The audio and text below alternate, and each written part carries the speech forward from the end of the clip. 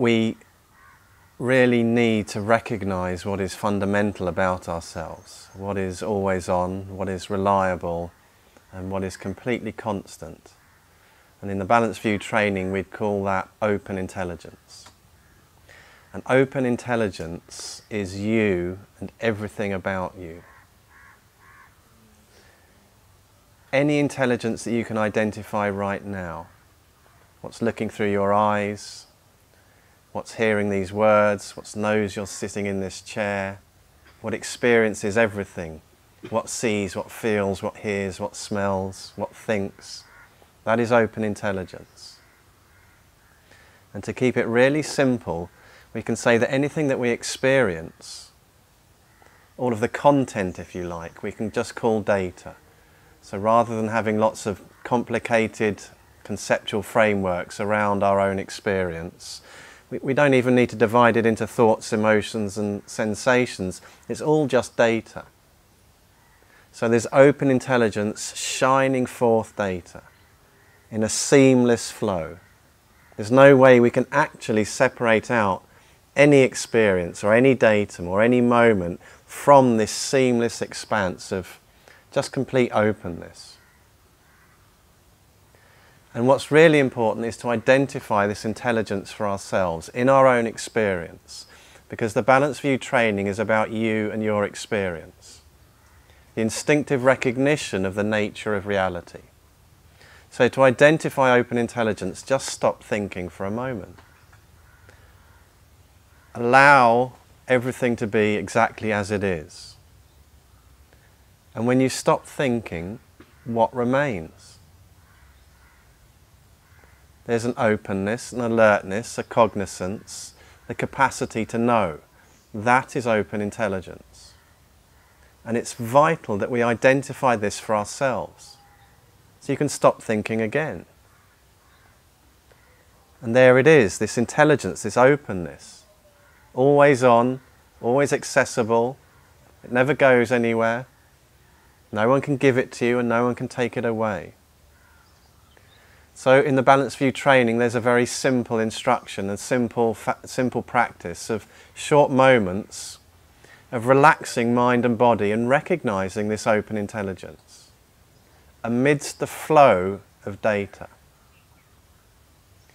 And what happens there is that we begin to see that data and open intelligence are inseparable. So there's no way we can experience open intelligence other than within the flow of all data. We wouldn't know or experience anything without open intelligence. And the only place we're able to recognize this natural presence of open intelligence is in our everyday experience of life, in this flow of data. So inseparable like the colour blue and the sky. We can't take one out from the other. Data are the shine, the beneficial shine of open intelligence. And what happens when we come to the Balanced View training and we begin to relax and to allow ourselves to be exactly as we are, is that we begin to see everything about ourselves as it really is.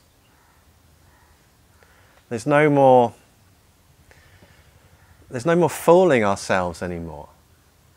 And what for me was fascinating was to really have this ever increasing insight into the nature of reality in a very specific way.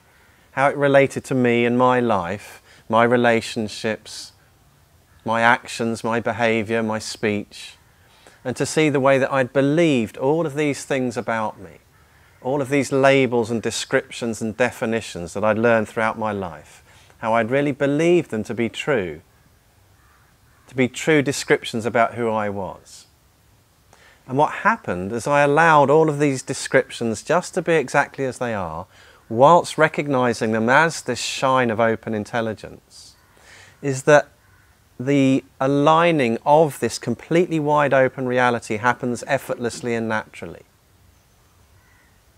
And aligning yourself with this reality of just complete perfect openness, perceptual openness in all circumstances allows for keener and keener insight into the nature of all of the data, into the nature of how all of these descriptions and labels have limited and oppressed me, by me believing in them, believing that somehow they had this independent nature. They were somehow out there and were, were, were able to get me somehow, or were able to affect me.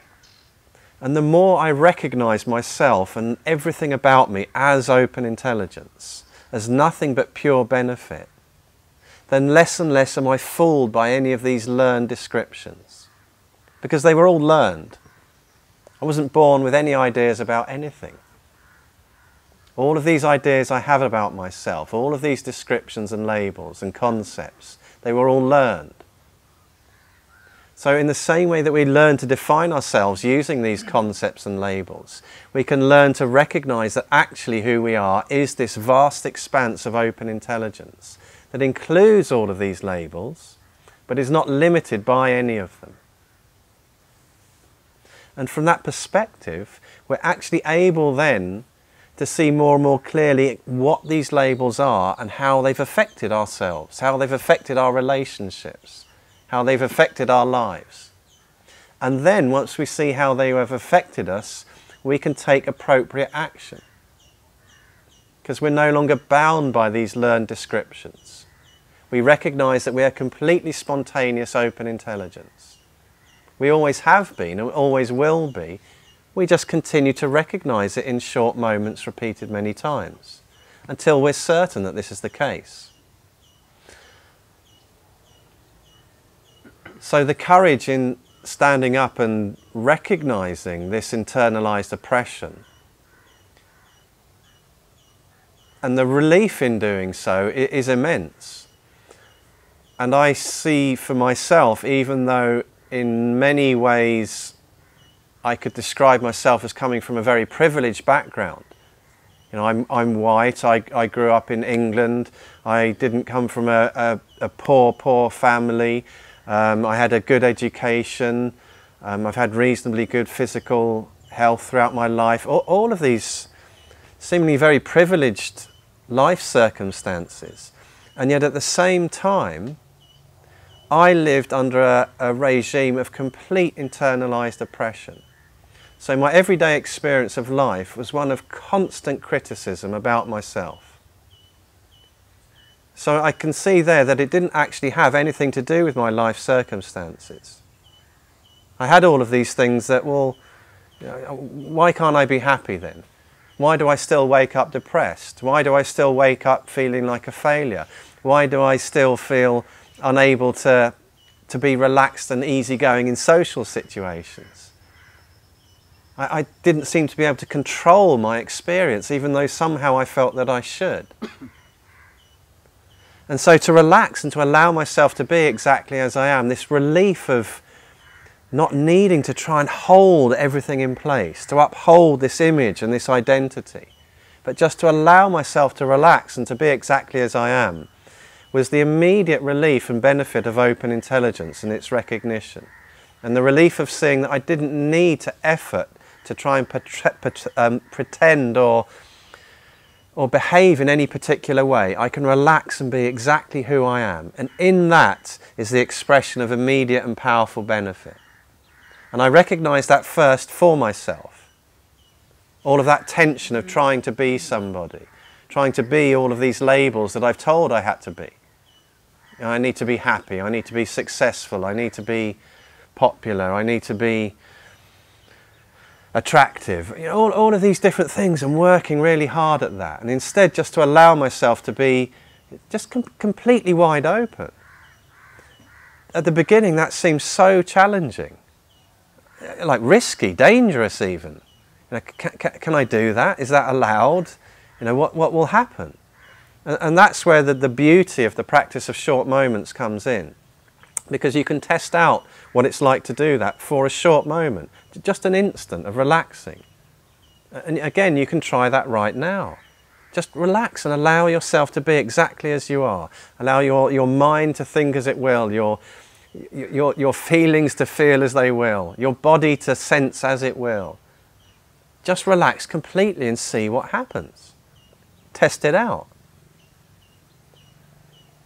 And by testing it out for short moments and repeating this, what I began to discover was that actually there was something about me that was constant, that was stable. The data were always changing, up one minute, down the next. Feeling like a, a, genius one moment and feeling like an idiot the next. Feeling socially confident one minute and feeling like I wanted to run away and hide from the whole world the next. So the description's always changing. But the open intelligence by which they're all known, within which and as which they all appear, was completely stable. And so, utilizing short moments and utilizing the rest of the support structure of Balanced View, I began to see that actually open intelligence is what I can rely on, not the descriptions. And by relying on it short moment by short moment, I began to see that actually this is what I was always looking for. This sense of ease, this sense of openness, this ability to relate to other people without the need for expectations or uh, uh, being a victim to any of my descriptions about how I thought I should be or how I thought they should be. Approaching each moment just in this same ease of perceptual openness. And it was that simple. And in terms of past events, what I began to see there was that, again, through the recognition of all of my data around past events and taking responsibility for recognizing that too as open intelligence, I could actually take actions to harmonize all relationships in very, very practical ways. So this isn't some vague recognition. In the Balanced View training, you will get to see everything about yourself. Everything. Which for me was a little bit, uh, we could say, interesting. But it was an incredible and continues to be an incredible exploration of what it means to be human, to, to really get to know myself. Not as other people have told me I am, but as I really am. Really seeing everything about myself as this brilliant shine of pure benefit, but only in the direct encounter with it, supported by the four mainstays the practice of short moments, the trainer, the written trainings, and the community of worldwide practitioners. For me, that support was just so essential because on my own it, it, it seemed it was too much it was too scary it was too intense it was all, all of these descriptions about Balanced View would have taken me down if you like and the very simple choice we have in each moment is to focus in on the descriptions on the data on the labels and there is immediate tension social situations are brilliant for that oh god i feel a i don't feel comfortable here and as soon as you focus in on that description of not feeling comfortable, then you really don't feel comfortable. What's interesting right there is to relax and recognize that description too. I don't feel comfortable here. As open intelligence. And then it expands out and it opens. And that feeling of not feeling comfortable actually becomes a, a, a, a deep and easy way of connecting with almost everyone else there that is feeling uncomfortable which is most people. If they're not feeling uncomfortable, then they're pretending or they've managed to hide it with a drink or a smoke or a bit of bravado or whatever it is. And, and, so it's really getting real, seeing this sensitivity, this openness, this, this genuine way of being and relating that we all have access to. This is, this is what I'd really wanted all throughout my life. And in the Balanced View training, I've, i found the, the how to. How, how can I do that? And every step of the way, I'm supported and empowered to do that, to see I have that choice. Which is way more than I ever imagined was possible.